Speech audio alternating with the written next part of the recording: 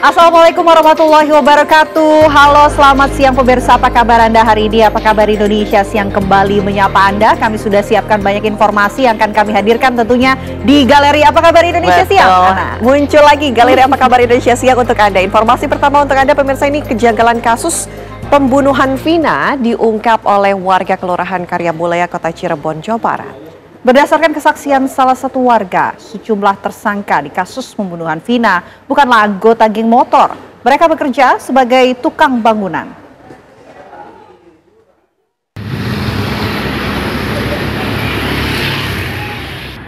Aep, salah satu saksi kunci dalam kasus pembunuhan Vina dan Eki sempat bekerja di sebuah tempat cuci mobil di Jalan Perjuangan Kota Cirebon pada tahun 2016 silam. Beberapa hari sebelum kejadian pembunuhan Vina dan Eki, tempat cuci mobil di mana Aep bekerja sempat digerebek oleh warga setempat. Hal tersebut lantaran seorang pekerja membawa masuk wanita ke dalam tempat steam mobil tersebut di malam hari. Saat itu, warga menggerebek tempat cuci mobil tersebut. Yang menarik, bersama warga terdapat Hadi dan Eko yang juga ikut menggerebek. Kedua anak muda itu merupakan tersangka kasus pembunuhan Vina dan Eki. Warga setempat menilai para tersangka bukanlah geng motor. Mereka hanya segerombolan anak muda yang sering nongkrong dan bekerja sebagai tukang bangunan.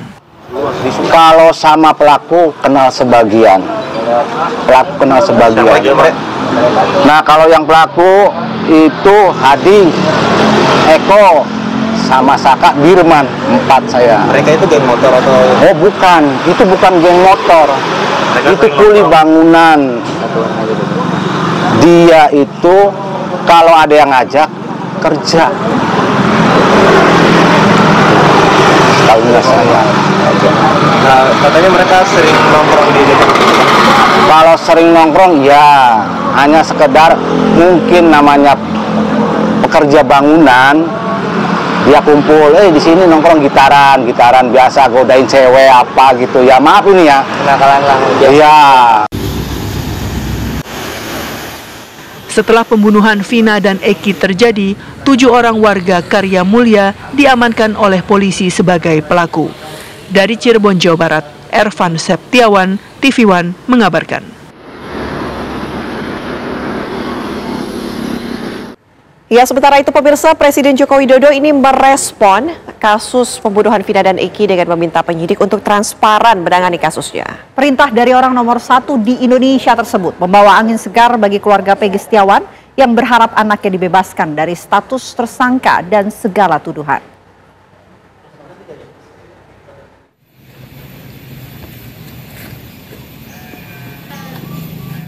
Keluarga Peggy Setiawan menanggapi respon Presiden Joko Widodo yang memberikan perintah kepada penyidik agar transparan menangani kasus yang sedang terjadi 8 tahun lalu.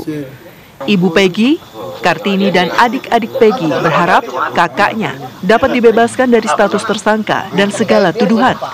Mereka yakin Peggy yang saat kejadian berada di Bandung tidak terlibat apalagi sampai menjadi otak dalam pembunuhan Vina dan Eki. Peggy yang sejak usia 15 tahun menjadi tulang punggung keluarga lebih sering tinggal di Bandung bersama Rudi, ayah kandungnya. Bahkan saat 27 Agustus 2016, Peggy masih berada di Bandung. Hal tersebut dikuatkan dengan kesaksian lima orang yang merupakan teman buruh Peggy dan ayahnya. Ya, saya merasa senang karena Pak Jokowi mau mau mau merespon harapan saya semoga Pak Jokowi mau membantu keluarga yang tidak mampu ini untuk membebaskan anak saya dari semua tuduhan ini Berarti Peggy tidak bersalah. Bu? ya karena Peggy tidak bersalah Peggy adalah tulang punggung kami jadi saya mohon kepada Bapak Jokowi bebaskan anak saya Menyoroti sedang viralnya kasus Vina Cirebon, Presiden Jokowi meminta kepada aparat jangan sampai ada hal yang ditutup-tutupi terkait peristiwa tersebut. Hal ini disampaikan Presiden Jokowi ketika ditanya awak media saat kunjungan kerjanya di Pasar Lawang Agung Rupit, Kecamatan Musirawas Utara, Sumatera Selatan.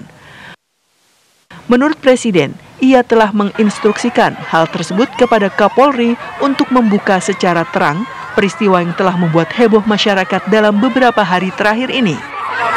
Tanyakan ke Kapolri. Saya sudah menyampaikan agar kasus itu betul-betul dikawal dan transparan terbuka semuanya.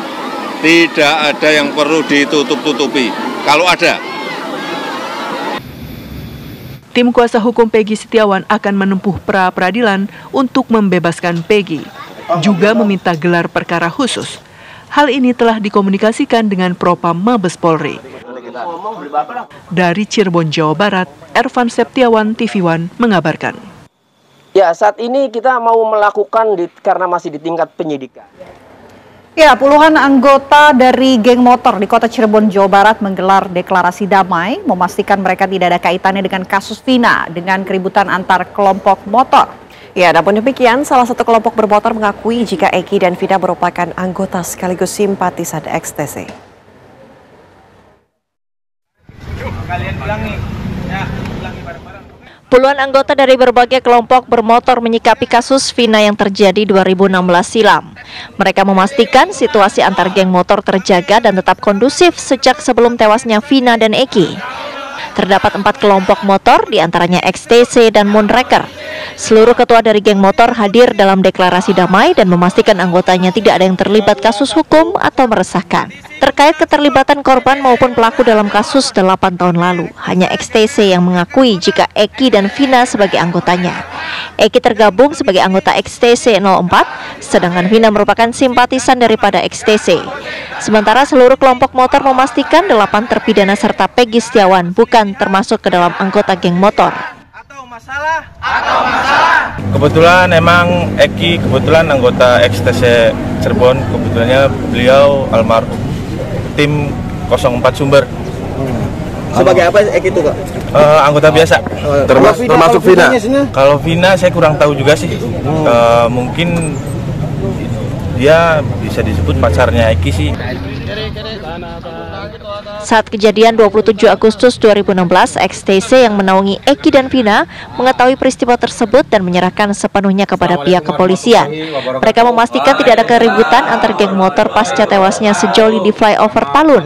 Mereka berharap kasus kematian Vina dan Eki bisa segera tuntas dan digelar secara transparan. Dari Cirebon, Jawa Barat, Ervan Septiawan, TV One mengabarkan. akan menyampaikan sikap terkait polemik peristiwa yang sedang Pemirsa informasi lainnya untuk Anda, Presiden Joko Widodo ini mencatatkan diri sebagai presiden pertama yang menginjakan kaki di Kabupaten Musirawas Utara, Sumatera Selatan. Kedatangan Presiden Jokowi disambut antusias oleh warga.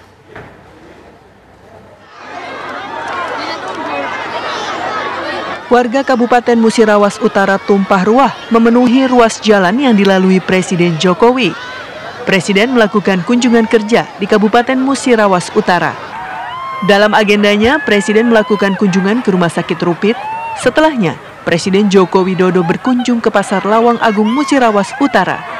Di pasar ini, Presiden berdialog secara langsung dengan para pedagang terkait harga-harga kebutuhan pokok yang ada di pasar tersebut. yang cabai hijau, ya, cabai merah 50.000, bawang juga sama eh, 40, bawang putih 40, bawang merahnya 45, ya. Ya harga-harganya baik, harga-harga baik. Sementara itu dalam kunjungan ke Kabupaten Musirawas, kehadiran Presiden Joko Widodo juga disambut tak kalah antusiasnya oleh warga. Sejak pagi hari, warga sudah menunggu di sekitar RSUD Dr. Sobirin yang dikunjungi Presiden Joko Widodo. Bahkan sejumlah anak-anak dan juga emak-emak mencoba menerobos barisan pengamanan saat Presiden tiba.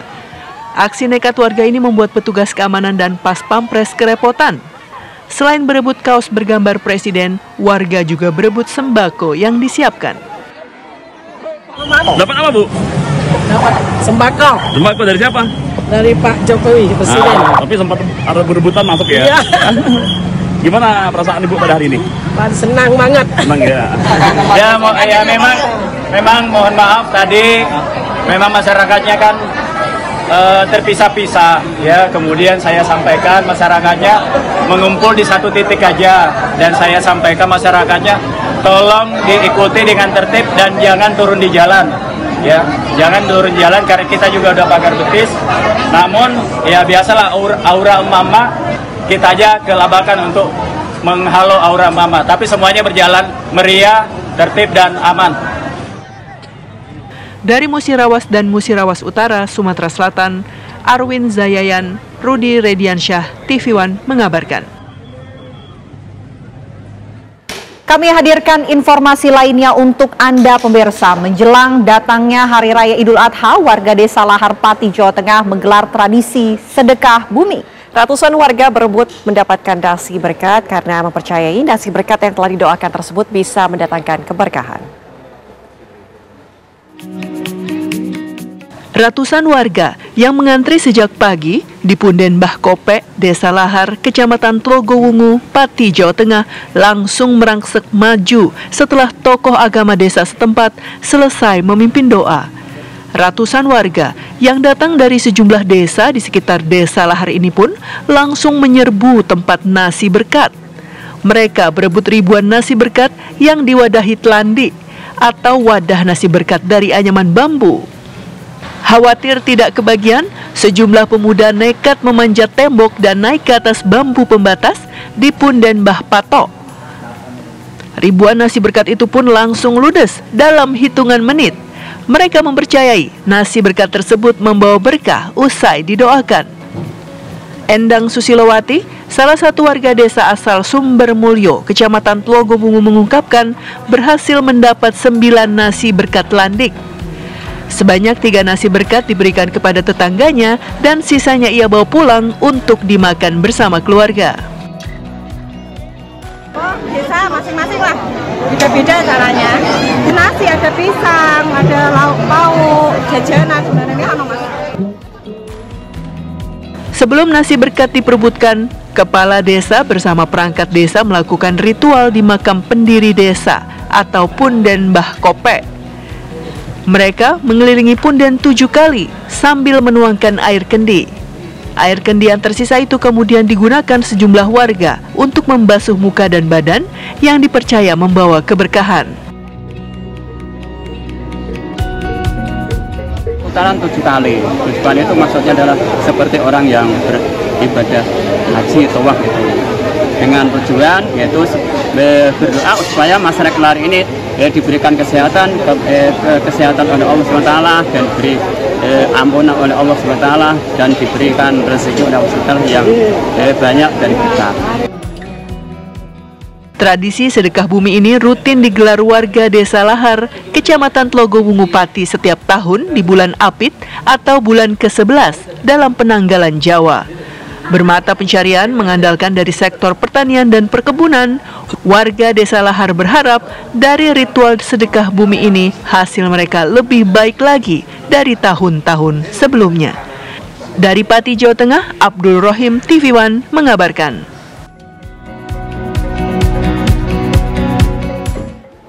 Ya, pemirsa warga ini merekam detik-detik ketika kereta moda raya terpadu menabrak besi muatan kren milik proyek Gedung Kejaksaan Agung yang jatuh di rel MRT.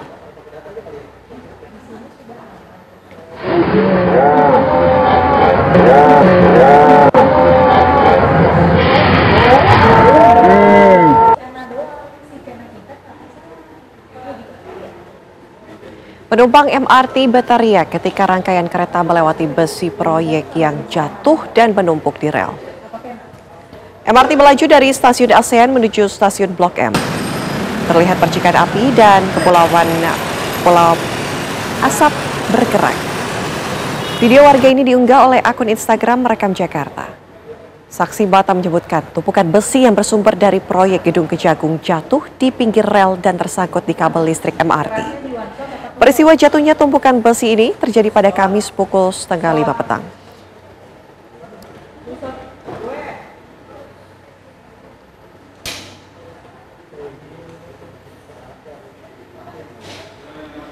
Kita akan update kondisi terkini pemirsa sudah ada rekan kami Yohanes Leonardo yang akan mengabarkannya untuk Anda di MRT Blok M. Ardo, selamat siang. Kondisi saat ini seperti apa? Apakah MRT sudah mulai beroperasi kembali?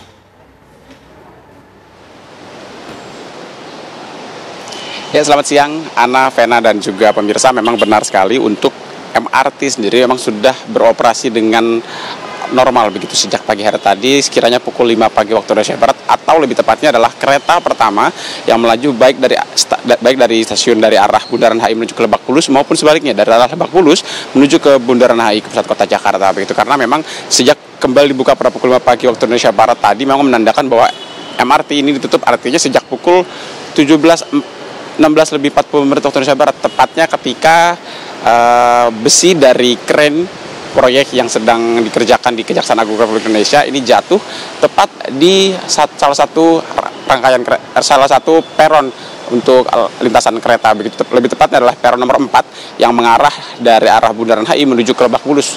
Kereta tersebut memang akan masuk ke dalam uh, stasiun Blok M BCA tempat kami mengabarkan saat ini sebelum namun sesaat sebelum masuk ke dalam stasiun justru kereta menghantam salah satu besi yang memang tampak dalam video amatir yang tersebar di media sosial gitu. Dan memang sejak pagi hari tadi sejak beroperasi kembali pihak pengelola memang sudah memastikan bahwa layanan MRT sudah dapat digunakan dengan nyaman seperti biasa karena memang segala permasalahan kemarin sudah dicek dan sudah dikondisikan begitu.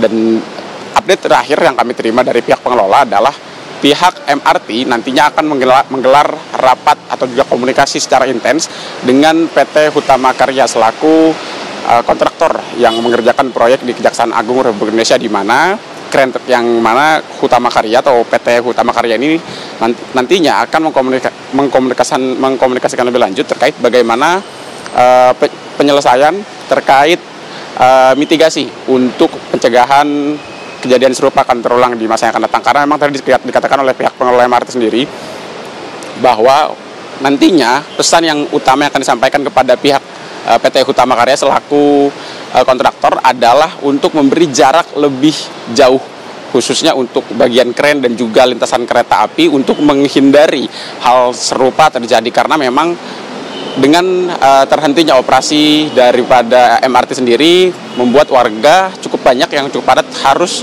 mengganti mode transportasi baik menggunakan mode transportasi yang direct ataupun langsung maupun juga mode transportasi lain dengan menggunakan transportasi umum di antara di Transjakarta yang ada di bawah di, di kawasan Blok M Jakarta Selatan ini. Namun memang dapat dipastikan sejak pagi hari tadi juga uh, layanan MRT yang dibuka sejak pukul 5 pagi sudah beroperasi dengan normal.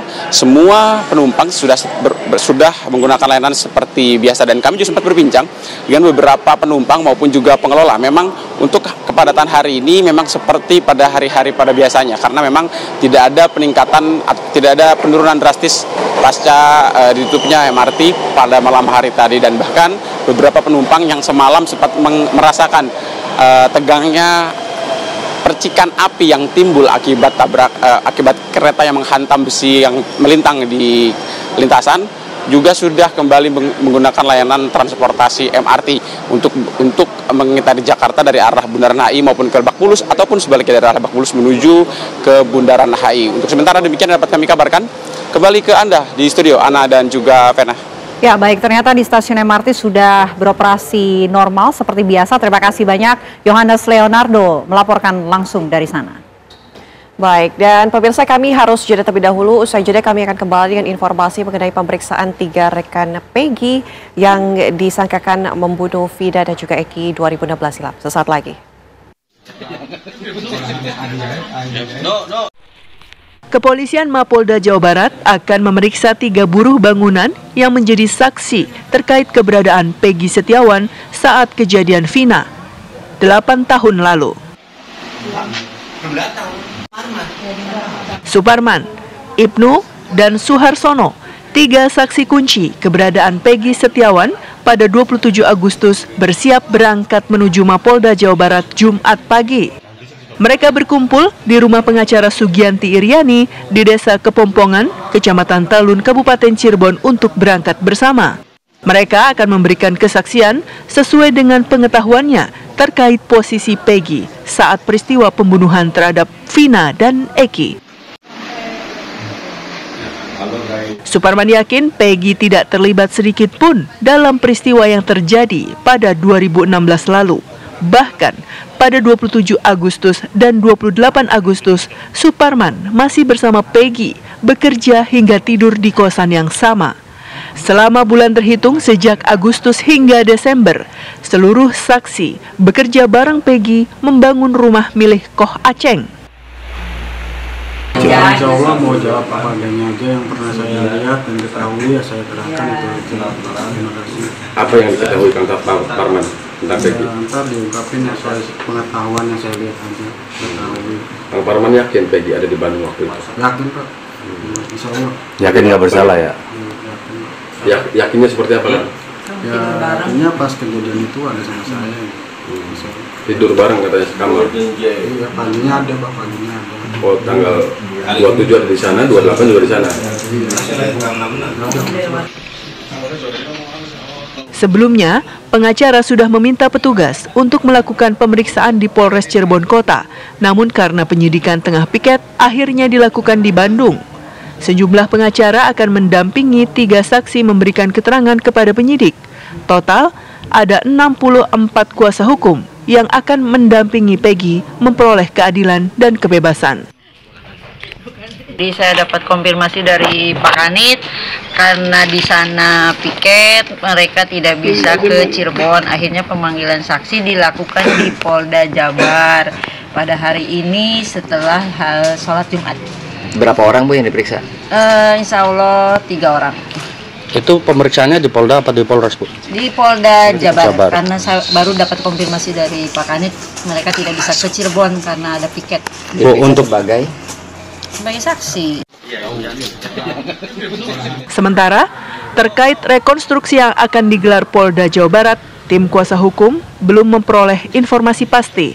Namun pengacara akan siap menghadiri rekonstruksi jika memang dilakukan pada hari ini. Dari Cirebon, Jawa Barat, Ervan Septiawan, TV One mengabarkan.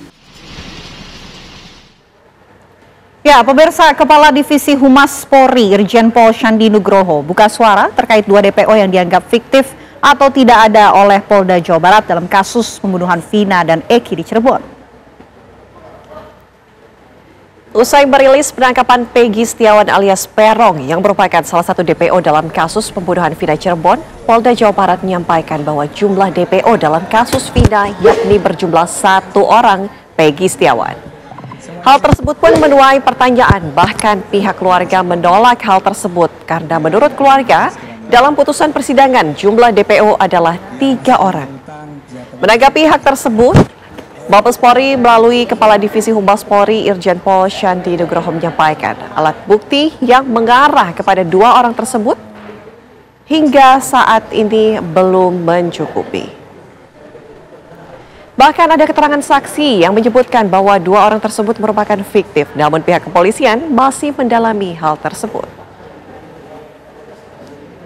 Terima kasih karena saat ini juga banyak sekali para pengamat, para ahli hukum terkait dengan kasus Vina. Eh, Polda Jabar sudah bekerja keras untuk bisa melaksanakan kegiatan penyidikan lanjutan tentang kasus tersebut dan sempat dirilis oleh Kabitumas Polda Jabar bahwa eh, tersangka sudah salah satu DPO sudah diamankan dan di dalam penutupnya di dalam penutupnya kalau kan, kan mungkin bisa bisa melihat atau mengingat kembali di sana Kabitumas Polda Jabar menyampaikan apabila ada informasi ada alat bukti yang lain yang bisa membuat lebih terang benderang dalam kasus ini mohon disampaikan itu artinya bahwa kita membuka diri apabila memang ada informasi dan alat bukti lain yang bisa diberikan kepada kepolisian sebagai informasi tambahan untuk mengungkap kasus ini. Dan ketika eh, kasus yang disampaikan oleh eh, Dirkrim Um Polda Jabar bahwa tadinya DPO ada tiga menjadi satu karena alat bukti yang mengarah kepada dua orang ini sampai dengan saat ini masih belum mencukupi. Bahkan ada beberapa keterangan saksi yang menyampaikan itu adalah fiktif, nama fiktif. Nah, oleh karena itu itu masih didalamin, masih dikerjakan apabila memang ada keterangan, informasi, tambahan alat bukti, tambahan saksi ataupun yang lainnya untuk membuat terang benderang tindak pidana ini, tentu saja kepolisian akan sangat berterima kasih. Dan bahkan kita juga sangat berterima kasih karena saat ini juga banyak sekali para pengamat, para ahli hukum, para narasumber yang sudah membahas masalah kasus Vina ini dengan luar biasa. Tentu saja ini menjadi uh, penyemangat bagi Polri bahwa dalam menyidik kasus Vina ini Polri nggak sendiri. Polri didukung oleh banyak pihak, Polri diperhatikan oleh banyak pihak untuk bisa kasus ini bisa menjadi lebih terang benderang lagi.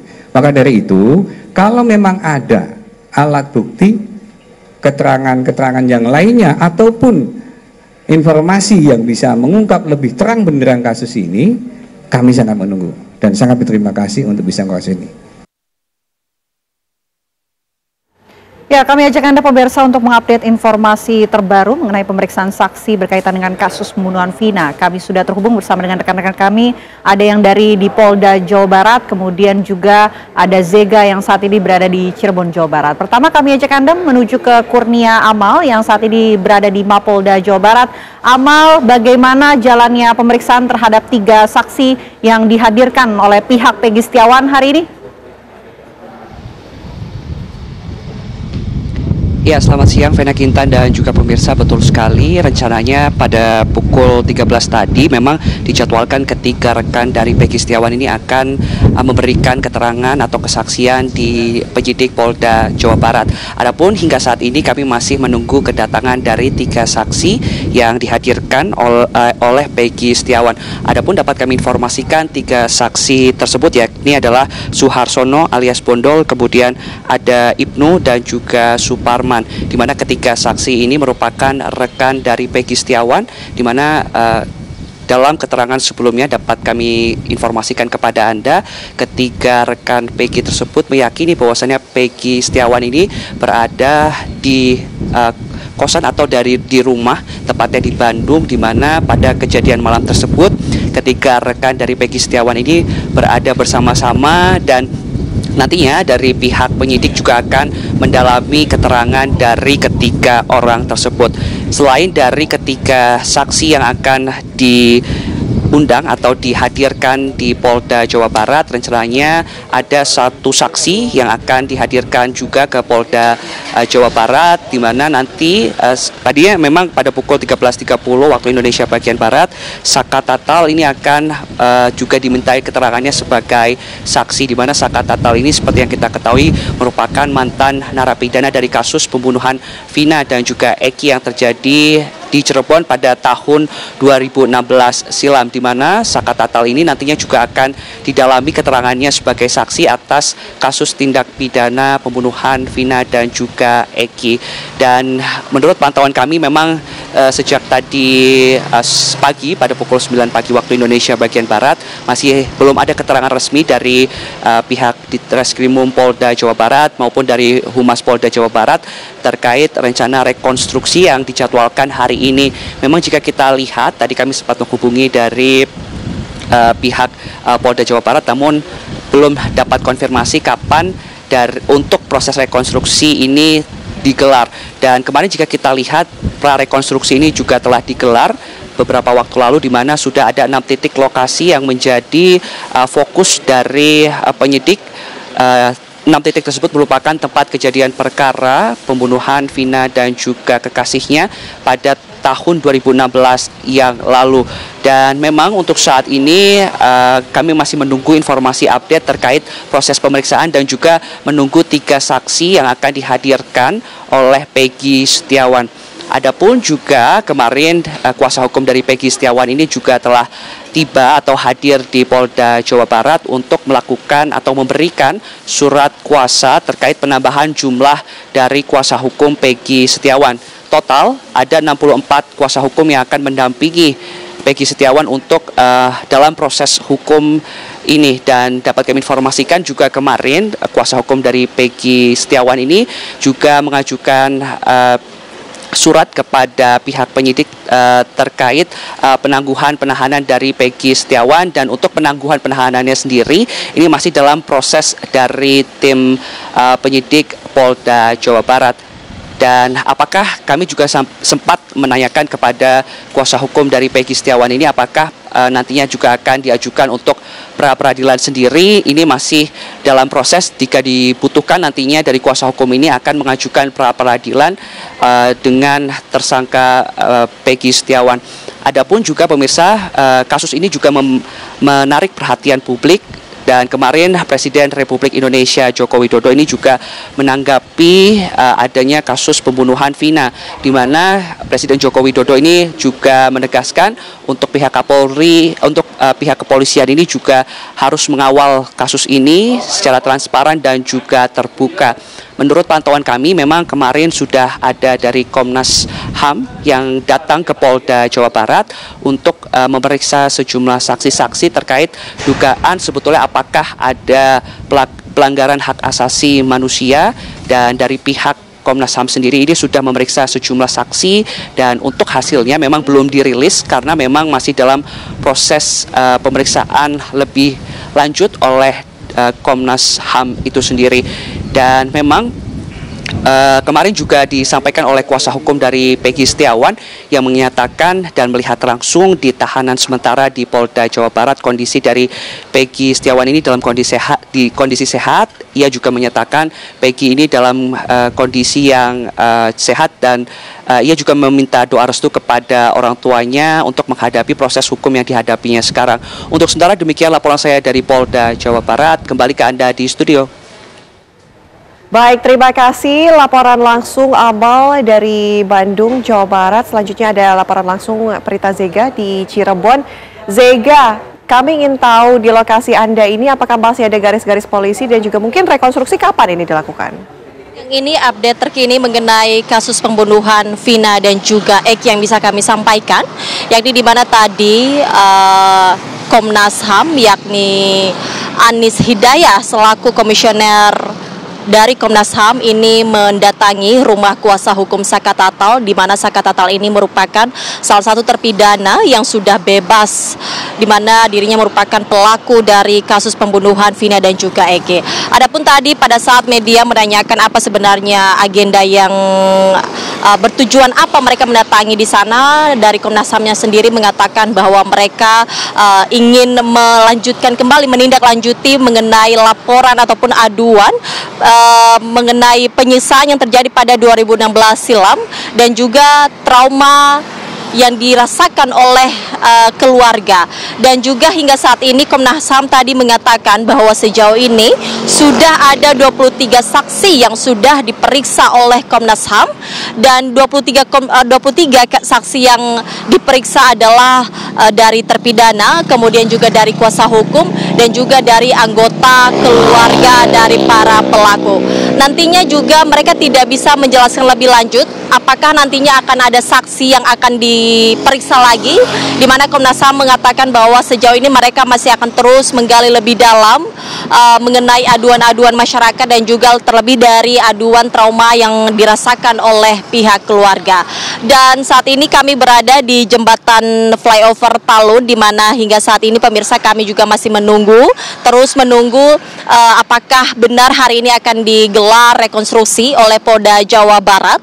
Namun namun dari tim kami sendiri kami masih belum menerima informasi yang pasti jam berapakah rekonstruksi ini akan dimulai apakah siang ini sore atau malam. Namun kalau kita berkaca pada Rabu kemarin uh, prakonstruksi prarekonstruksi sudah digelar ini pada malam hari. Kami akan masih terus menunggu update dari Polda Jabar. Benarkah hari ini akan digelar rekonstruksi atau tidak? Demikian kembali ke Anda. Baik, terima kasih Prita Zega melaporkan langsung dari Cirebon, Jawa Barat. Sebelumnya juga ada Kurnia Amal dari Mapolda, Jawa Barat. Ya, dan pemirsa kami harus jeda terlebih dahulu. Usai jeda kami kembali dengan informasi lainnya untuk Anda sesaat lagi. Pemirsa kerap meresahkan warga, sekelompok penagih hutang atau debt collector diusir pengurus lingkungan di kawasan Semper Barat, Cilincing, Jakarta Utara pada Selasa siang. Pengusiran diwarnai aksi saling dorong hingga nyaris adu cotos.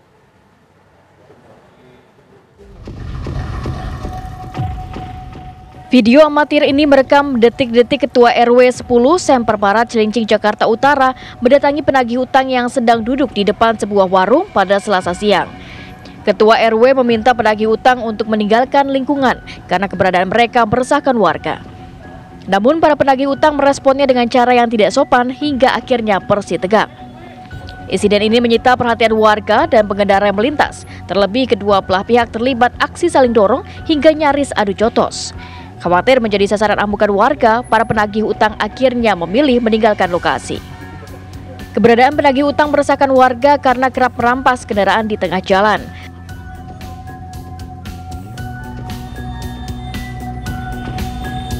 Kita warga RW 10 Center Barat sudah sudah capek menegur debt kolektor dan mata uang ini dengan tingkah lakunya. Sering banget terjadi permasalahan yang di wilayah terkait dengan perampasan. Mereka ini merampas bukan dengan cara yang benar, tidak membawa surat fidusia, tidak membawa surat kuasa uh, penarikan, tidak ada somasi dan lain-lain sebagainya. Dan tempatnya sudah salah. Setahu saya uh, Pak Dirjen Kementerian PUPR akan menjelaskan. Apa sih tujuannya? Semuanya itu ras Presiden, pemerintah ingin menunjukkan kehadiran pemerintah dalam semua situasi yang dihadapi oleh masyarakatnya. Khususnya persoalan-persoalan berkaitan dengan sandang, pangan, dan papan. Nah ini tapra ini berkaitan dengan papan ini. Tuh. Dan itu tugas konstitusi karena ada undang-undangnya. Undang-undang yang harus dijalankan oleh seorang presiden. Saya ingin tunjukkan undang-undangnya.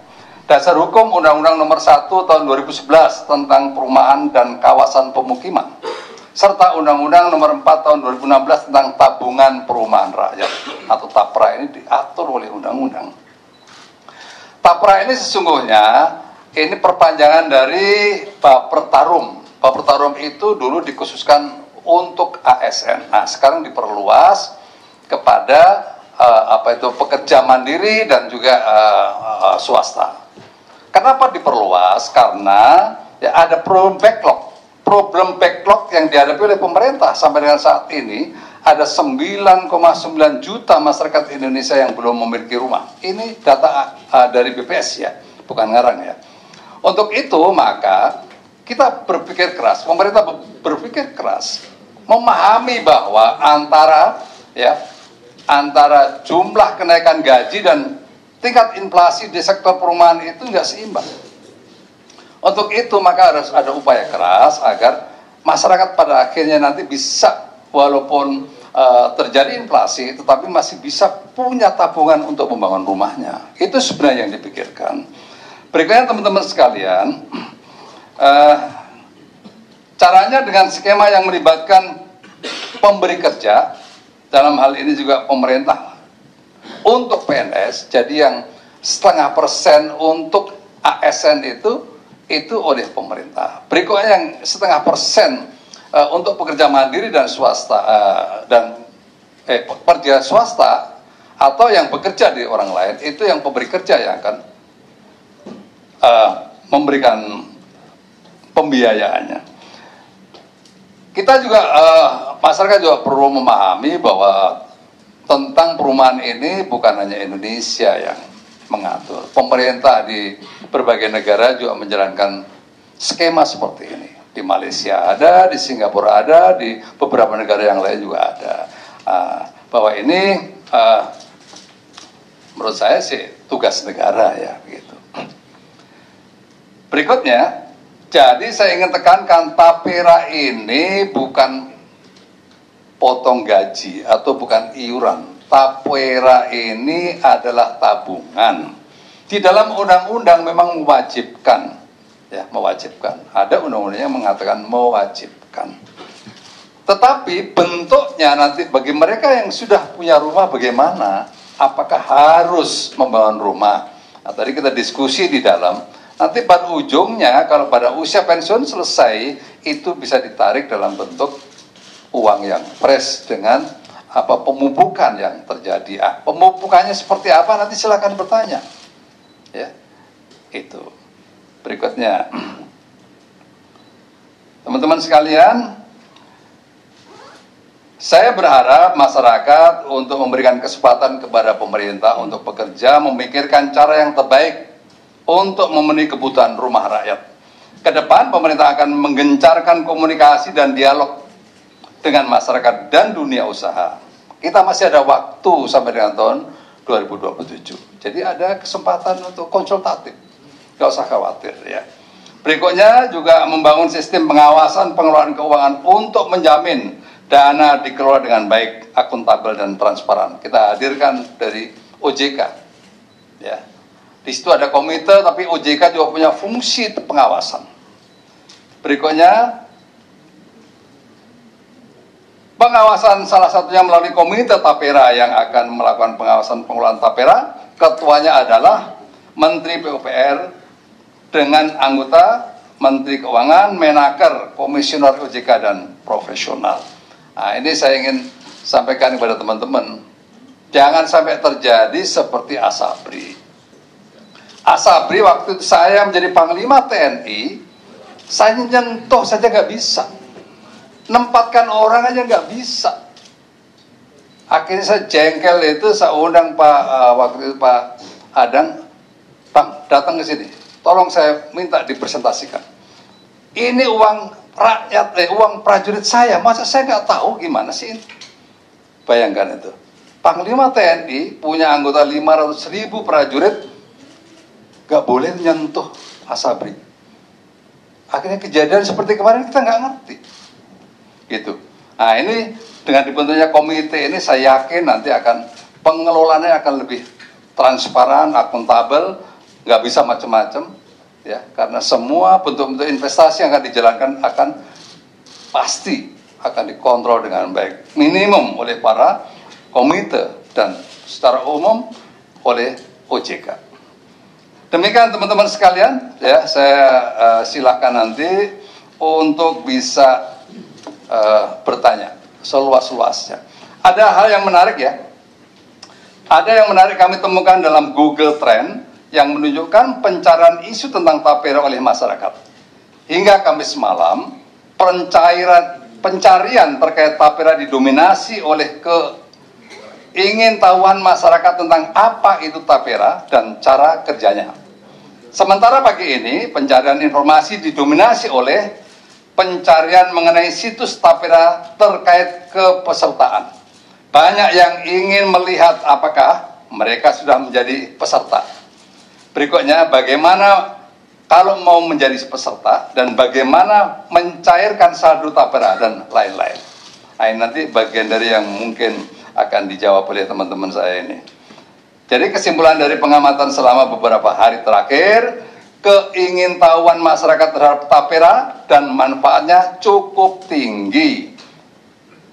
Nah ini cukup tinggi. Untuk itu kehadiran teman-teman sekalian di sini saya berterima kasih, alhamdulillah ya karena nanti bisa memberikan informasi yang lebih jauh lagi, lebih dalam lagi pada masyarakat Indonesia.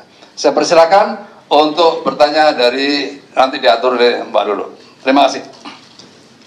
Baik, terima kasih untuk pembukaannya Bapak Kepala Staf Kepresidenan. Selanjutnya kami akan meminta kepada BP Tapera, Komisioner BP Tapera, Bapak Heru Pudionugroho untuk menjelaskan terutama terkait dengan kemanfaatannya seperti apa yang dapat diterima oleh masing-masing kelas sosial, Pak. Apakah memang manfaatnya hanya diterima oleh pekerja dengan penghasilan rendah? Bagaimana dengan pekerja kelas menengah dan pekerja kelas atas? Apakah juga dengan membayar iuran juga bisa merasakan manfaatnya, Pak?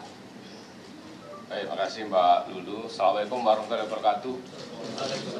Selamat siang, salam sejahtera untuk kita semua yang terhormat Kepala Staf Kepresidenan Pak Muldoko, yang kami hormati para pimpinan mewakili Komite Tapra yang hadir pada siang hari ini. Eh, kami ucapkan terima kasih nih Pak Kepala Staf Presiden atas kesempatan yang diberikan juga teman-teman wartawan untuk bisa kami memberikan penjelasan terkait dengan program Tapera pada siang hari ini. Baik menyambung yang disampaikan Mbak dulu, ya terkait dengan kemanfaatan apa yang akan diterima oleh masing-masing kelas sosial masyarakat atau ya pekerja gitu ya, eh, pekerja penerima upah. Sebentar Pak, ini uh, mic-nya tampaknya berkendala sebentar Pak. Saya minta izin pakai. Karena dari yang saya nggak bisa. Silakan. Takut sama kepala BP Tapera itu. Mic-nya saya ikut grogi Pak. Eh, izin uh, melanjutkan. Jadi terkait dengan pertanyaan apa kemanfaatan yang akan diterima oleh peserta tapera, baik itu pekerja penerima upah maupun pekerja mandiri. Yang pertama saya jelaskan dulu bahwa mengacu pada indeks keterjangkauan residensial, harga rumah dikategorikan terjangkau apabila tidak lebih dari tiga kali penghasilan rumah tangga dalam setahun atau maksimal indeks 3. Kondisi saat ini pada 12 provinsi di Indonesia, ini data ya, masyarakat masih sangat sulit untuk menjangkau kepemilikan hunian dengan harga yang terjangkau dengan kemampuan penghasilan mereka bahkan di beberapa provinsi yang populasinya tinggi seperti di Jawa dan Bali angka keterjangkauan residensialnya sudah di atas 5 atau sangat tidak terjangkau. Permasalahan ini terjadi di hampir semua segmen baik MDR, kelas menengah maupun pekerja kelas atas. Nah, dari sini kemudian Tapera hadir, ya, sesuai amanah Undang-Undang Nomor 4 2016 tentang Tapera, ya, untuk meningkatkan kemampuan atau affordability masyarakat untuk menjangkau harga rumah tersebut. Melalui apa? Melalui penurunan suku bunga yang pada akhirnya menurunkan besaran angsuran bulanan peserta. Jadi perhitungan kami, teman-teman bisa lihat ilustrasi ya. Terdapat selisih angsuran sebesar sekitar 1 juta per bulan ya. Jika mengambil satuan rumah ya susun ya dengan asumsi harga 300 juta. Ya, ini kita uh, ilustrasinya kalau ya memakai KPR komersial angsurannya kurang lebih 3,1 juta per bulan ya dengan asumsi bunga 11% ya Nah, kalau KPR Tapera itu hanya 2,1 juta per bulan. Itu sudah termasuk tabungan. Karena sebelum mendapatkan benefit atau manfaat, peserta harus nabung. Untuk apa? Ya, untuk menunjukkan apa kemampuan kapasitinya dalam mengangsur. Ya. Jadi secara langsung dengan menjadi anggota Tapera dia nabung setahun, ngajukan KPR, itu meningkatkan bankability dari peserta. Cukup dengan melihat dari track recordnya dia nabung selama setahun ya ya itu manfaat kedua ya. Dan kalau benefit ini jadi lebih hemat sekitar satu juta per bulan dibanding KPR komersial yang dapat digunakan ya untuk kebutuhan-kebutuhan lainnya dari peserta. Ya. Kemudian masih ditambah lagi di akhir masa kepesertaan ya selain ngangsur 2,1 juta tadi ngangsur dan plus tabungannya. Peserta akan memperoleh benefit pengembalian tabungan beserta hasil pemupukannya. Ya, hanya dengan 2,1 juta. Yang 3,1 juta kalau angsuran komersial itu udah angsuran doang, nggak pakai tabungan. Ini 2,1 udah plus tabungan yang akan dikembalikan pada saat masa KPR-nya selesai. Ya. Untuk itu, yang untuk uh, peserta ASN juga kami harapkan di forum ini, ya, ya, dan juga pemberi kerja untuk melakukan updating data peserta melalui portal kepesertaan di website Tapera atau www.tapera.go.id. Itu barangkali Mbak terkait kemanfaatan. Ya. Bicara mengenai uh, siapa saja peserta tapera ini masih juga menjadi uh, perbincangan di ruang publik, Pak. Uh, siapa saja pesertanya, wajib atau tidak sebenarnya, mekanisme pembagian beban iurannya seperti apa, pengolahan dana dan juga penyalurannya. Video amatir ini merekam detik-detik Ketua RW 10 Semper Barat Cilincing Jakarta Utara mendatangi penagih hutang yang sedang duduk di depan sebuah warung pada selasa siang. Ketua RW meminta penagih hutang untuk meninggalkan lingkungan karena keberadaan mereka meresahkan warga. Namun para penagih hutang meresponnya dengan cara yang tidak sopan hingga akhirnya persi tegang. Insiden ini menyita perhatian warga dan pengendara yang melintas, terlebih kedua belah pihak terlibat aksi saling dorong hingga nyaris adu jotos. Khawatir menjadi sasaran amukan warga, para penagih utang akhirnya memilih meninggalkan lokasi. Keberadaan penagih utang meresahkan warga karena kerap merampas kendaraan di tengah jalan.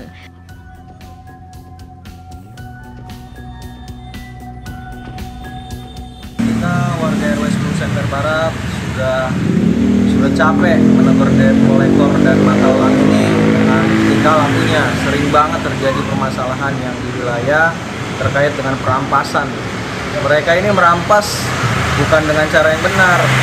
Tidak membawa surat fidusia tidak membawa surat kuasa uh, penarikan tidak ada somasi dan lain-lain sebagainya. Dan tempatnya sudah salah.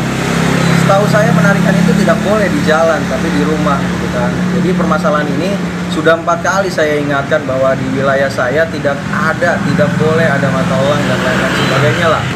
Jadi menurut saya tingkah laku saya mengusir ini memberikan efek jerah mudah-mudahan kepada uh, debt collector dan mata elang. Kalau di RW 10 tuh siap perang sama mata elang.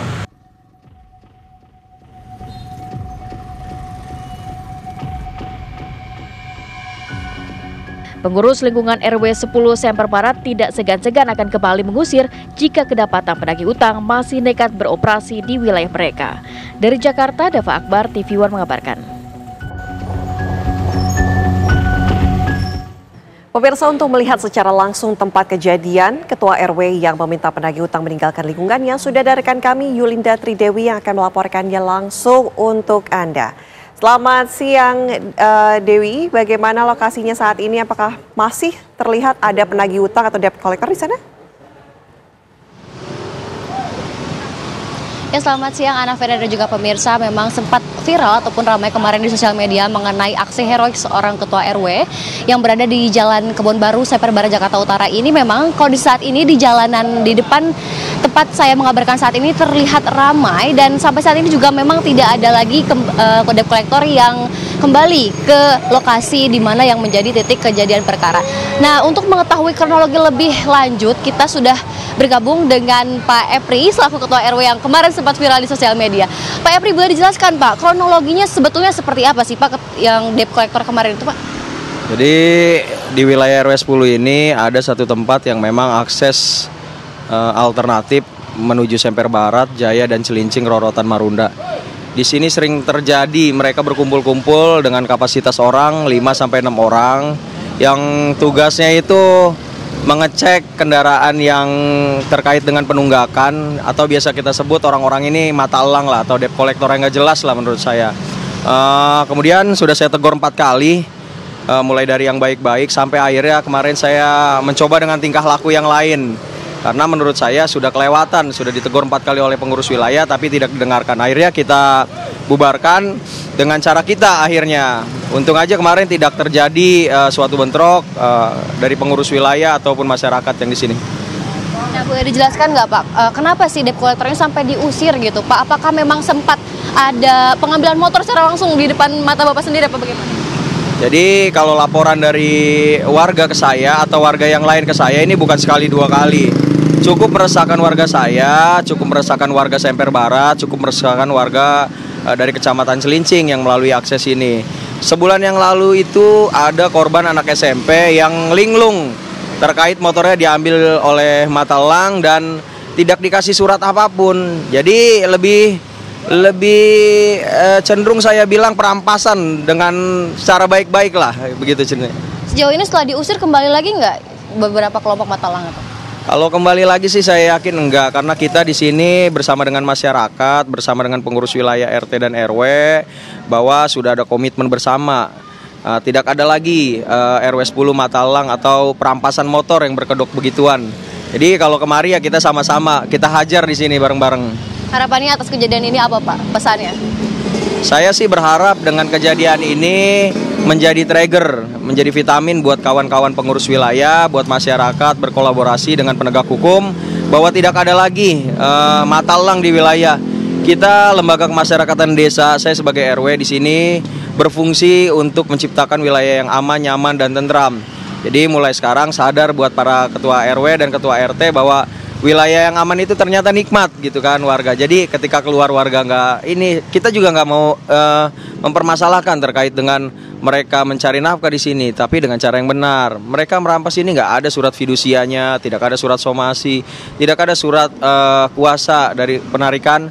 Kemudian juga dia harusnya menarik itu di rumah lah, nggak perlu di jalan lah. Kalau dia datang baik-baik, kita yang temenin, kita yang kawal, kita selesaikan baik-baik. Jadi buat semua pengurus wilayah, masyarakat dan aparat penegak hukum, basmi aja mata lang lah. Kita udah nggak ada lagi di wilayah, udah perangin aja. Terima kasih Bapak atas waktunya. Nah, pemirsa begitulah keterangan dari Pak Ketua RW selaku uh, aksi atau sosok viral kemarin di sosial media. Sementara kembali ke Anda di studio Anavena. Baik, terima kasih banyak Yulinda Tridewi melaporkan langsung dari Semper Barat, Jakarta Utara. Ya, pemirsa kami harus jeda terlebih dahulu. Saya jeda kami kembali dengan informasi lainnya untuk Anda bersama Ana dan Vena. Sesaat lagi. Pemirsa viralnya kembali kasus Vida pada 2016 silam turut membuat hoax melejit tak terkecuali menyerang anak pejabat. Seperti halnya anak mantan Wakil Bupati Cirebon, Jawa Barat yang diteri diteriaki pembunuh Vina pada saat jalan-jalan di mal dan juga keluar rumah.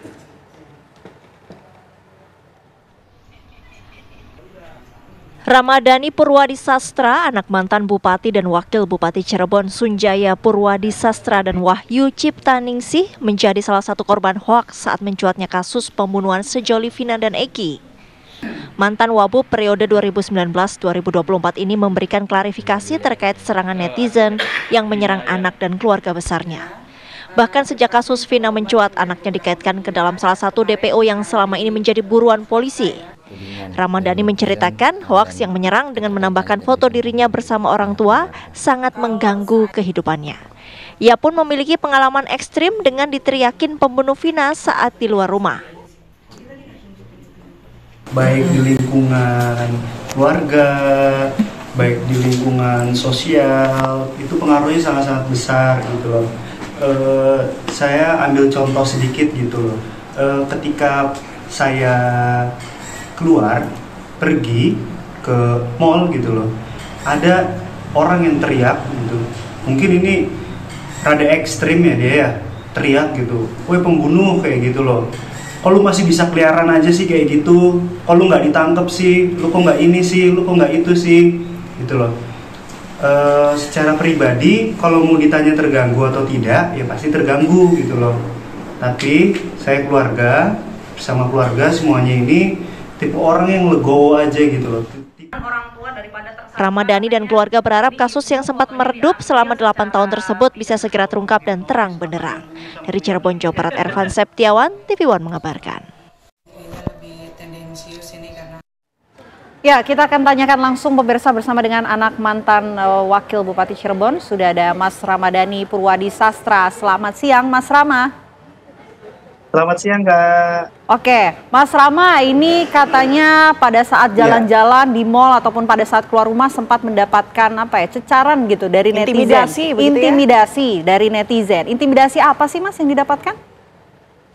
Uh, sebenarnya banyak ya kayak uh, mungkin salah satu contohnya yang tadi itu ketika di mall, ketika di lingkungan publik gitu ya ada yang teriakin pembunuh gitu terus kayak sekarang itu kalau misalnya keluar itu kurang nyaman mungkin ya kayak uh, banyak orang yang masih menuduh saya itu sebagai pembunuh Vina dan Eki gitu. Sebenarnya sih tidak.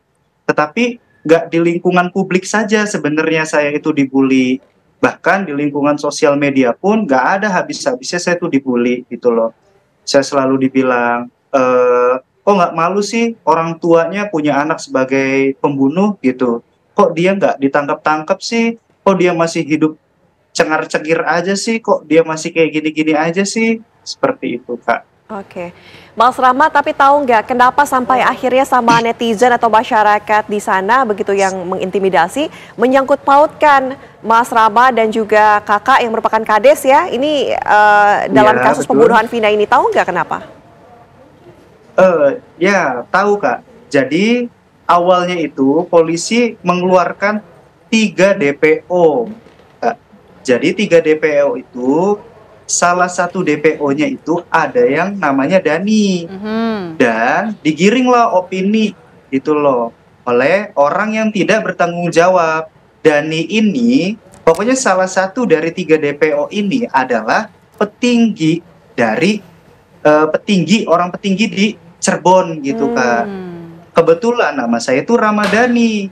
Nah, terus digiringlah opininya, digiring opininya sampai masuklah ke saya Dani Ramadhani, petinggi dari uh, Cirebon gitu. Orang hmm. tuanya petinggi di Cirebon karena orang tuanya wakil bupati karena orang tuanya bupati seperti itu kak. Oke, jadi karena ada Dani dalam nama Mas Rama ini ya Ramadhani ya. Tapi Mas Rama iya, pada saat betul. kejadian uh, Agustus 2016 itu posisinya Mas Rama tuh lagi di mana sih dan usia berapa Mas kalau boleh tahu? Pada saat itu usia saya masih 11 tahun kak dan masih duduk di bangku SD 5 SD kak waktu pada saat itu. Jadi sama sekali kalau dibilang saya menjadi ketua geng motor, saya dibilang salah satu anggota geng motor, itu tidak benar adanya. Saya sudah bilang berkali-kali, saya sudah berklarifikasi berkali-kali, tapi ada aja lah orang yang masih nggak percaya gitu kak. Dan bahkan ada di uh, salah satu media sosial saya, saya menunjukkan gitu loh. Ini 2016 ini saya seperti ini loh wajah saya seperti ini dan inilah saya gitu. Oke. Dan ada masih masih ada aja orang yang ngebully katanya ya mungkin dia dari SD sudah jadi ketua geng motor gitu loh. Ketua geng motor mana yang masih SD gitu loh. Saya aja kaki Oke. nyelak motor aja tuh masih belum bisa gitu Kak. Mhm. Mas Rama, tapi pernah dipanggil tidak oleh pihak kepolisian? Mungkin sebagai saksi atau sebagai apa pemanggilan dalam kasus ini pernah? Oh, tidak pernah. Tetapi kalau semisalnya saya dipanggil kapan pun, sekarang pun saya siap gitu, Hmm. Kak. Oke, tapi kalau pribadi eh, Mas Rama sendiri, apakah mengenal sosok Vina, Eki, kemudian para pelaku-pelaku lain yang fotonya ini juga sudah beredar, Mas Rama? Oh, tidak, tidak. Tidak sama sekali saya tidak mengenal. Gitu. Saya Hmm. Tidak per- baru tahu kejadian Oke. Tidak pernah melihat, Mas, sosok ini sebelumnya? tidak pernah melihat. Oke, Mas Tidak. Rama, kalau berbicara mengenai kakak dari Mas Rama yang juga menjadi korban intimidasi begitu ya kan sama-sama Iya. tadi Mas Rama katakan. Ini eh, bagaimana dengan kasusnya dari kakak Mas Rama yang sekarang merupakan kepala desa? Ini apakah kemudian sama disangkut pautkannya dengan cara mencari-cari nama atau seperti apa? Oh sama sama kak. Dari ketiga DPO itu setelah saya tidak terbukti nyari lagi lah petinggi gitu loh.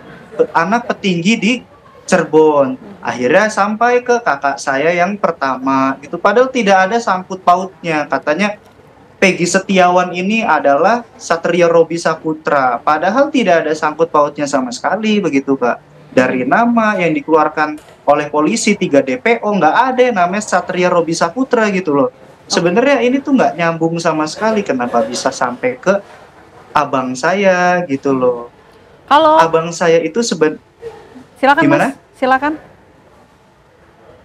Iya, abang saya itu sebenarnya eh, terima-terima saja, tapi kan dia sudah berkeluarga, dia sudah mempunyai anak, dan dia takut gitu loh, anaknya menjadi salah satu korban bullying lagi gitu kak, seperti ya seperti bapaknya, ya seperti saya begitu loh, kan dia sekarang sudah menjadi orang tua gitu, Oke. mungkin dia lebih berat ke anaknya gitu kak. Mas Rama, saya mau mendalami lagi soal kakak dari Mas Rama. Ini berarti pada saat 8 tahun lalu posisi dari kakak Mas Rama ini eh, usia berapa dan pada saat kejadian di bulan Agustus ini posisinya tuh lagi ngapain sih Mas? Itu eh, 2016 ya kak ya? Mhm. Berarti. Ya, Agustus 2016. Kakak saya itu eh, kakak saya itu berarti di 2016 kakak saya itu sudah kuliah dan nikah pada saat itu 2016. Mhm. Katanya cuti sempat cuti Dan- kuliah juga. Ini dalam rangka apa untuk cuti kuliahnya? Nah, cuti kuliah itu dalam rangka untuk pernikahan Kak. Jadi tidak ada sama sekali sangkut pautnya karena oh diduga pembunuh terus cuti dulu. Nggak ada seperti itu sebenarnya. Kakak saya cuti karena ingin melangsungkan pernikahannya. Oke. Posisinya ada di Cirebon nggak Mas pada saat Agustus itu cutinya? Betul, betul. Pada saat itu kakak saya itu eh, sedang sedang melangsungkan pernikahannya di Cirebon. Oke. Mas Rama, kan kemarin juga sudah melakukan eh, konferensi pers ya bersama dengan Hotman Paris, kemudian saat ini Iya, juga betul. udah mengklarifikasi. Ada perubahankah atau masih saja sempat eh, menerima intimidasi-intimidasi dari masyarakat yang mungkin belum tahu informasi ini seperti apa? Mungkin perbandingannya 70-30 ya kak.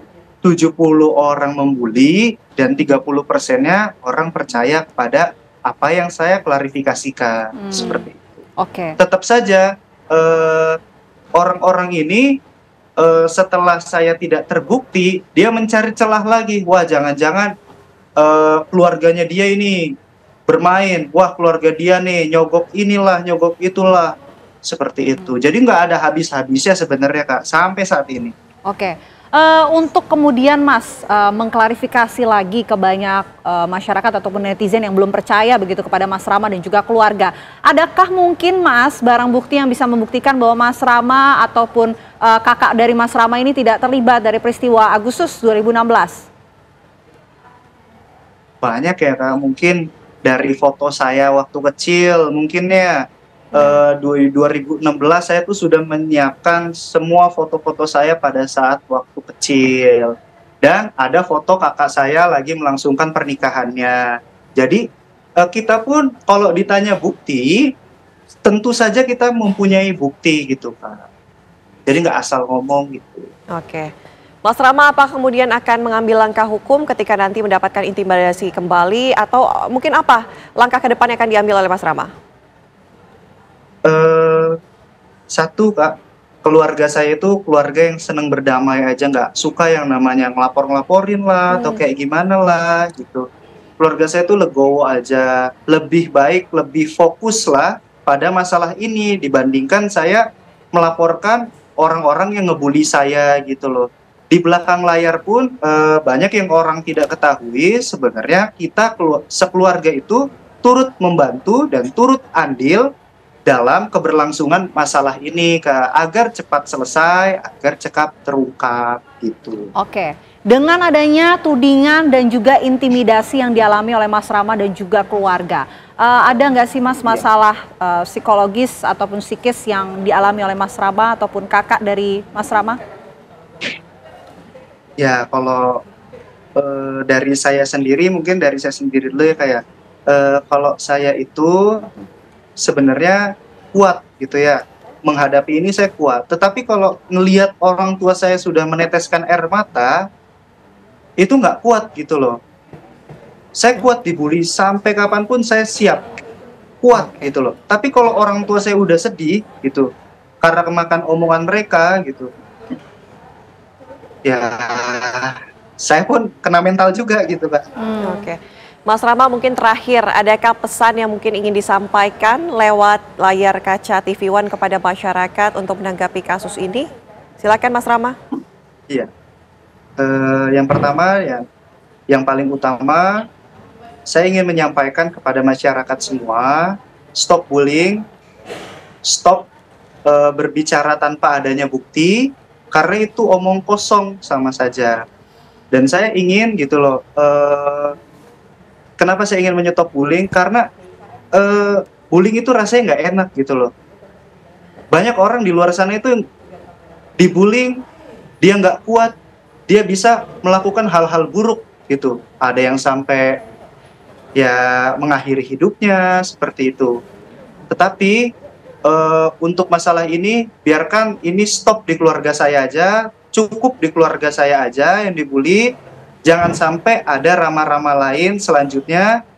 Dan untuk masyarakat di luar sana, ayo mari bersama-sama agar kita cepat selesaikan masalah ini. Gitu loh. Jangan fokus ke sayanya, tapi fokus ke masalahnya gitu loh. Kita bantu agar masalah ini cepat terang benerang, cepat selesai, dan cepat terungkap. Baik, terima kasih banyak Mas Ramadhani Purwadi Sas, uh, Sastra. Tentu juga kami turut prihatin atas yang dialami Mas Rama dan juga keluarga. Semangat selalu, ya. sehat selalu. Terima kasih atas waktunya Siap, Mas Selamat. Ya, kita harapkan juga kasus pembunuhan Vina dan Eki ini lekas terbongkar ya, hingga tidak ada lagi mungkin salah persepsi, salah konsepsi begitu. Sesaat lagi pemirsa kami masih akan hadirkan informasi lainnya untuk Anda. Tetaplah bersama kami. Ya, Anda kembali di Apa Kabar Indonesia Siang pemirsa. Anda masih bingung mencari menu makan siang untuk besok mungkin? Nah, menu entok asap dari sebuah kedai makan di Kabupaten Jepara, Jawa Tengah ini sepertinya patut dicoba. Pasalnya, masakan entok dimasak dengan cara diasap dengan bumbu rempah-rempah.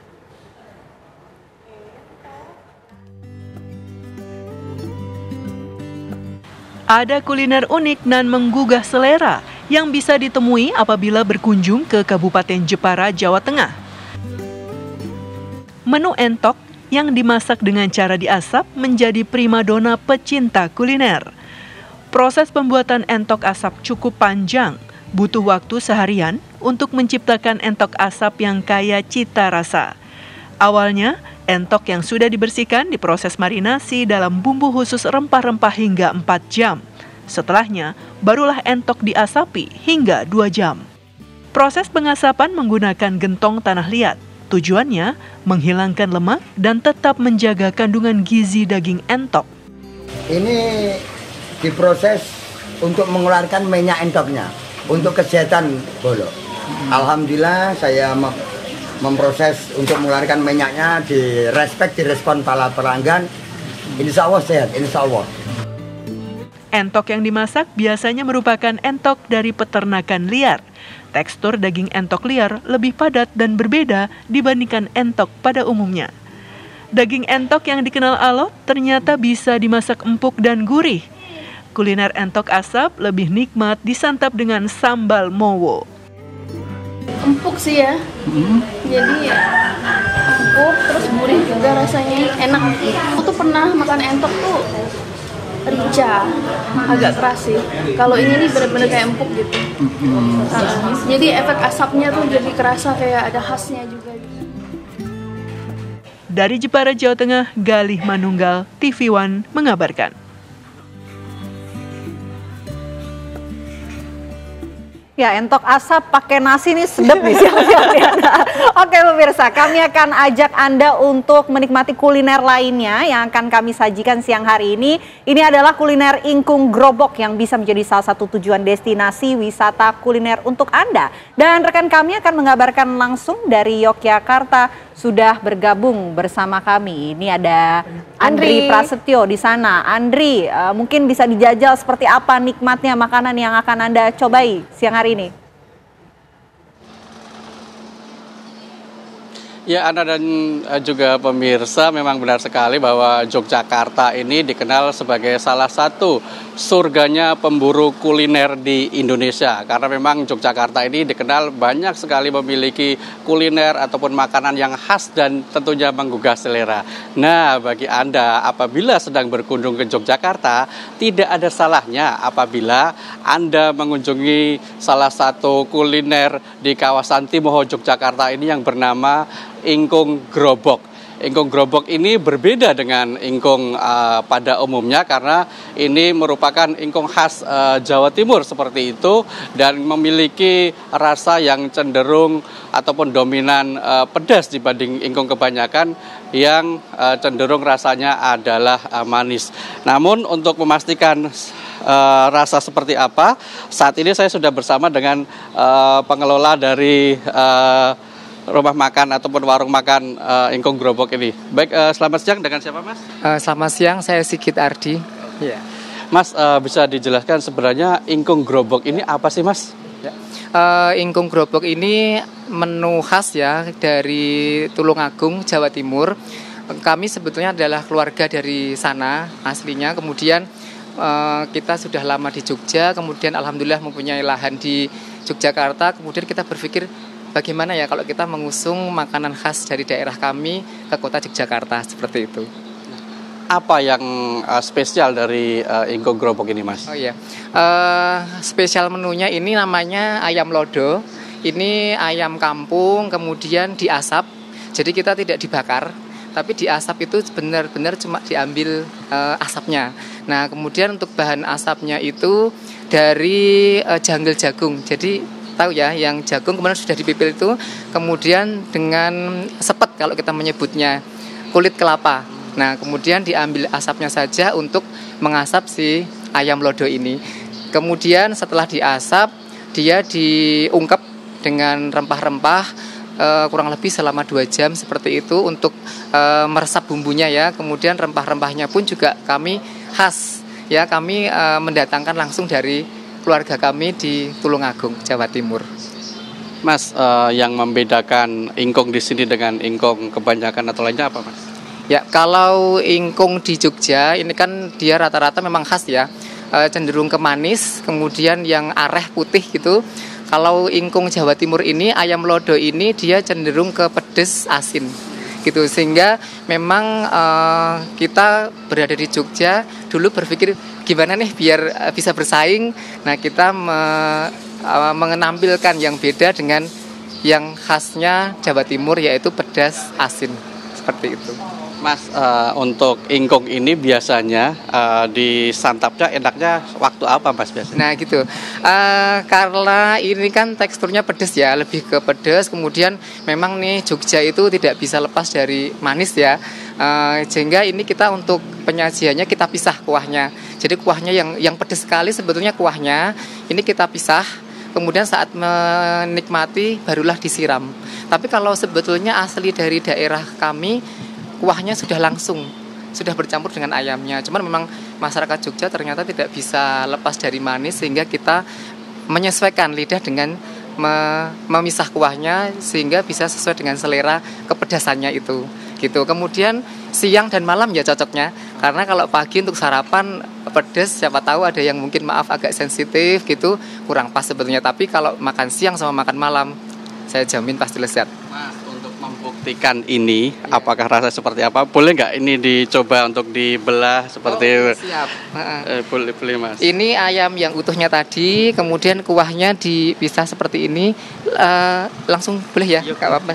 Uh, kemudian ini untuk ayamnya langsung dibelah aja. Oh. Nah, seperti ini lahannya. Kemudian kalau untuk menikmatinya, eh, mohon maaf ini eh, dengan kuah.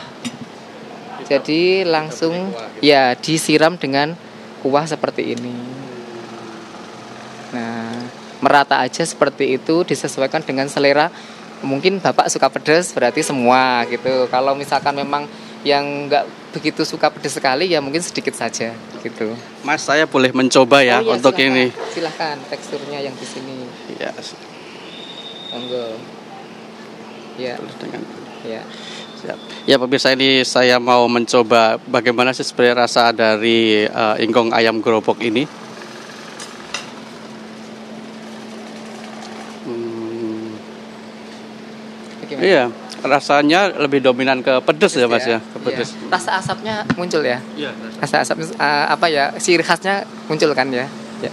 Gitu. bisa bisa menghabiskan berapa mas kalau di sini? Uh, kalau sehari berapa ini tergantung ya Pak. Kalau misalkan kita yang normal seperti ini ya 20 sampai 30 ekor. Tetapi ketika memang kemarin itu kan uh, long weekend, kemudian liburan, tahun baru misalkan lebaran ya kita bisa sampai 50 di atas 50 perharinya. Iya. Baik, terima kasih Mas Sigit atas informasinya.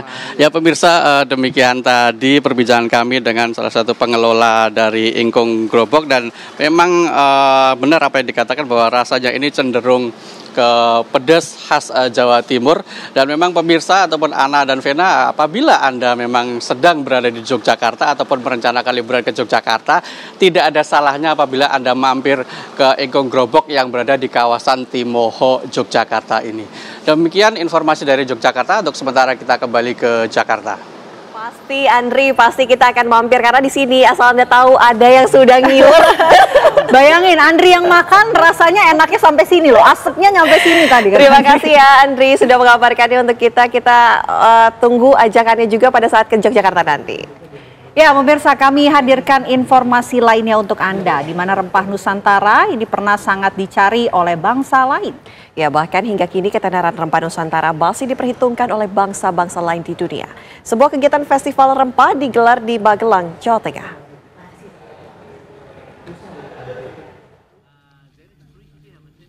Inilah suasana saat delegasi dari perwakilan 11 negara ASEAN saat mengunjungi rumah rempah Borobudur di Desa Karangrejo, Kecamatan Borobudur, Kabupaten Magelang, Jawa Tengah. Di rumah rempah Borobudur ini, para delegasi dari 11 negara ASEAN ini diperkenalkan beragam hasil rempah-rempah seperti kunyit, sereh, jahe, hingga cengkeh. Tak hanya hasil rempah, para delegasi juga diperkenalkan tanaman rempah-rempah yang sengaja ditanam di area perkebunan. Selain itu, dalam acara kunjungan lapangan ini, Para delegasi juga membuat ramuan minuman rempah sekaligus mencicipinya. Para delegasi pun mengaku senang mengikuti kegiatan ini karena bisa mengetahui beragam jenis rempah-rempah serta mencicipi minuman rempah dan jamu asli Indonesia. Bahkan, rombongan delegasi pun mengaku kagum dengan relief rempah yang ada di Candi Agung Borobudur. Sangat uh, menarik dan um, sesuatu satu pengalaman yang baru bagi saya. Dan sebab di tempat saya saya tidak menggunakan banyak rempah sebagai minuman. Ya kebanyakannya digunakan untuk masakan dan juga untuk uh, kegunaan lain seperti untuk um, kesihatan uh, menghilangkan um, angin menghilangkan rasa sakit badan. Jadi itu sangat menarik lah. Bila mana saya sendiri um, yang tidak pernah makan atau minum rempah begitu saja yang mentah, hari ini saya um, ada mengalami dia. Kegiatan ASEAN Spice, The Connecting Culture of Southeast Asians tersebut diinisiasi oleh Direktorat Jenderal Kebudayaan, Kementerian Pendidikan Kebudayaan Riset dan Teknologi Republik Indonesia bekerja sama dengan Sekretariat ASEAN. Kegiatan tersebut merupakan kegiatan diskusi budaya rempah dengan negara-negara anggota ASEAN, terutama langkah nominasi bersama jalur lempah sebagai warisan budaya dunia. Untuk membangkitkan kembali kesadaran di antara negara-negara kawasan ini bahwa sebenarnya ada elemen-elemen yang menyatukan kita. Atau yang bisa menyatukan kita, yaitu pengalaman bersama masa lalu. Baik itu yang buruk maupun yang baik. Jadi pengalaman buruk dan pengalaman baik masa lalu termasuk uh, yang berkaitan dengan uh, rute rempah ini itu bisa dijadikan semacam common ground bagi negara-negara kawasan ini untuk menciptakan solidaritas ya kemudian apalagi bisa dan seterusnya intinya identitas identitas baru Diharapkan dengan kegiatan tersebut bisa menciptakan inovasi, kreativitas, bahkan produk bersama terkait budaya rempah dan gastronomi antar negara ASEAN. Dari Magelang, Jawa Tengah, Edi Suryana, TV One mengabarkan.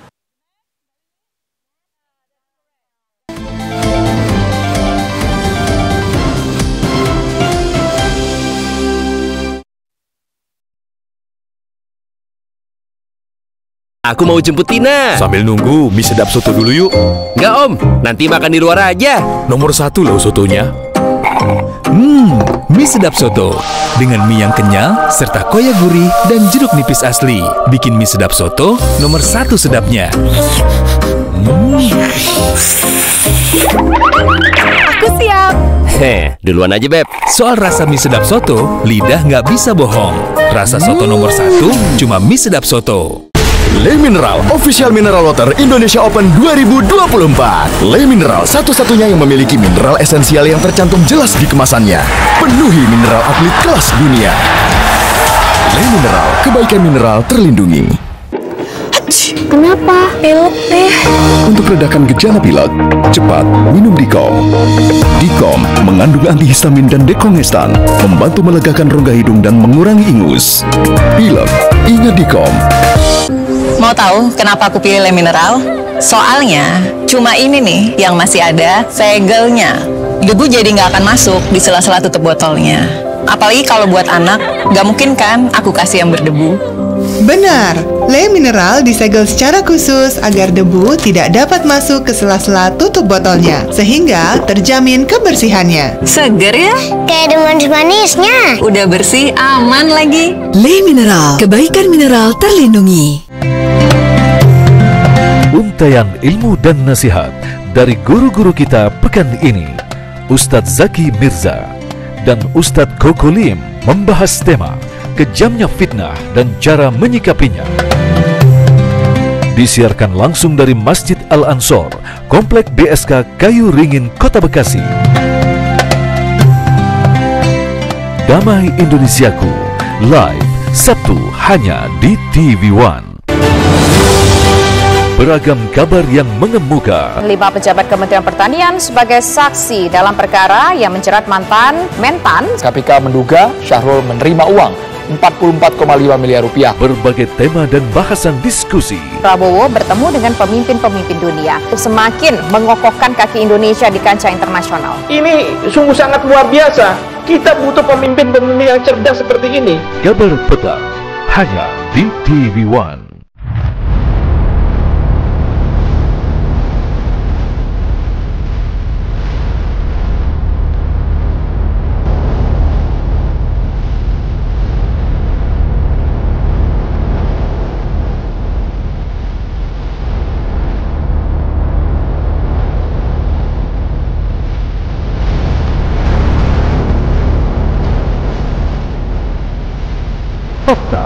TV One.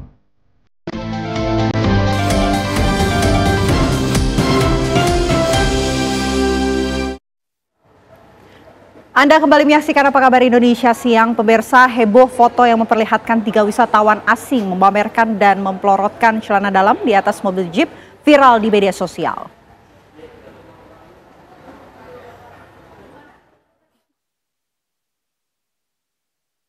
Aksi tidak senonoh itu terjadi di Laut Pasir Bromo, Probolinggo, Jawa Timur.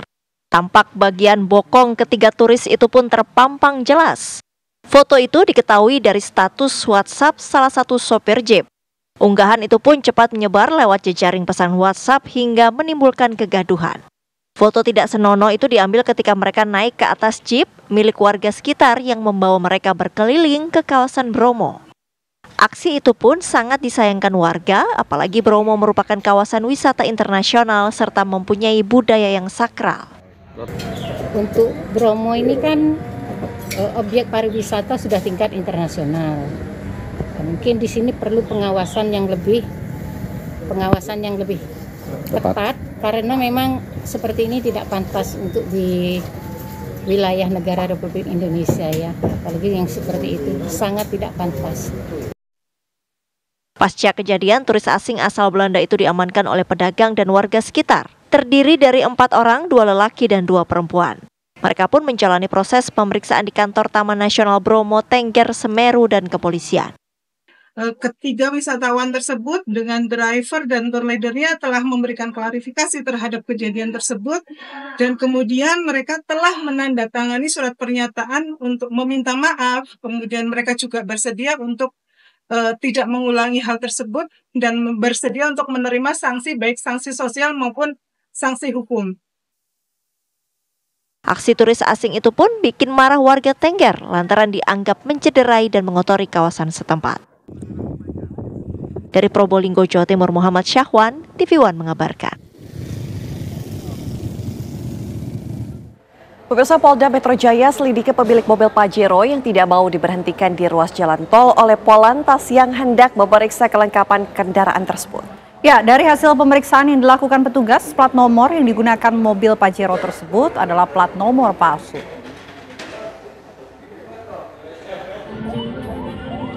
Polisi nyetop gini maksudnya apa?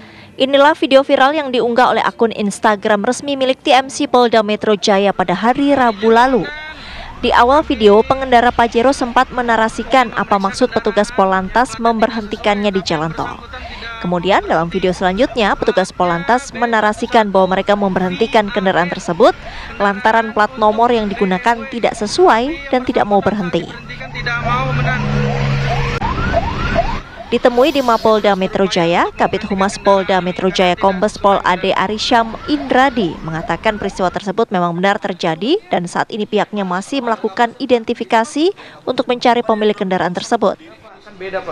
Dari hasil pemeriksaan yang dilakukan oleh pihak Ditlantas Polda Metro Jaya, mobil Pajero yang menolak untuk diberhentikan petugas Polantas tersebut menggunakan plat nomor yang tidak sesuai alias palsu. Ada mobil Pajero hitam diduga menggunakan plat nomor palsu di jalan tol. Kemudian petugas Direktorat Lantas Polda Metro Jaya berupaya menghentikan namun yang bersangkutan e, kabur atau melarikan diri. Direktorat Lalu Lintas Polda Metro Jaya sedang melakukan proses identifikasi kendaraan dan pengemudinya. Ini akan dilakukan tindakan apabila sudah tertangkap